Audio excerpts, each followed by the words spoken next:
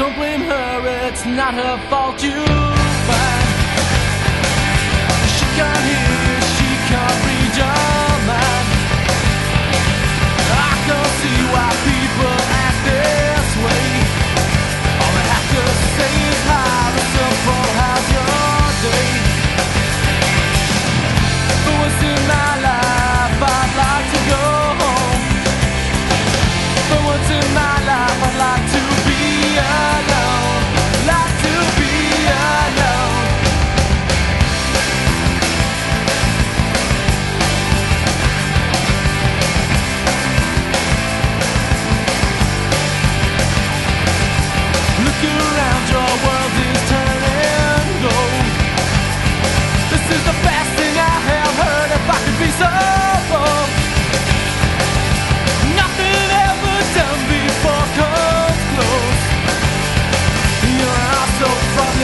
Down to your bed.